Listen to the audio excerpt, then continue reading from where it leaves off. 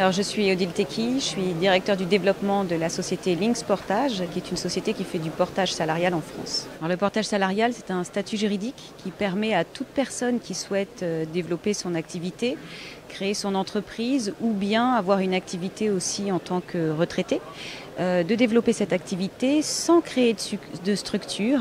et sans avoir le statut d'auto-entrepreneur qui a des limites euh, d'honoraires euh, et de facturation à 32 800 euros. Le portage salarial donc permet donc à la personne de garder toute la liberté de l'entrepreneur. C'est lui qui va définir sa prospection, ses honoraires, définir évidemment son offre en premier chef, gérer entièrement sa relation commerciale de manière autonome et ensuite qui va nous confier la gestion de cette relation. Moyennant quoi nous pourrons nous lui établir euh, un contrat de travail et donc le faire bénéficier de l'ensemble des avantages du statut du salarié. Les avantages du salarié, c'est tout d'abord en premier chef bénéficier du régime général de la sécurité sociale qui est quand même le plus favorable, surtout en France. C'est aussi bénéficier du droit à la formation qui va permettre à l'entrepreneur éventuellement de développer d'autres compétences complémentaires aux siennes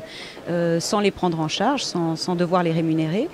Euh, c'est également euh, bénéficier de la cotisation à la retraite et c'est surtout et avant tout pouvoir bénéficier du pôle emploi entre deux missions qui lui assure du coup une parfaite sécurité financière. Mon conseil le plus important que je donnerai aujourd'hui aux entrepreneurs, c'est de ne pas démarrer seul car c'est un danger qui guette chacun et qui fait que beaucoup d'entreprises se créent mais aussi beaucoup d'entreprises se perdent.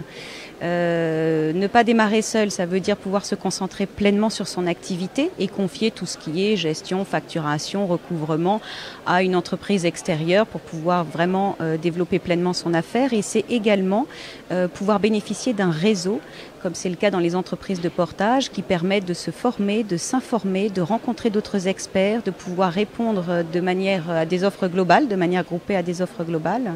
et donc d'être beaucoup plus visible sur le marché.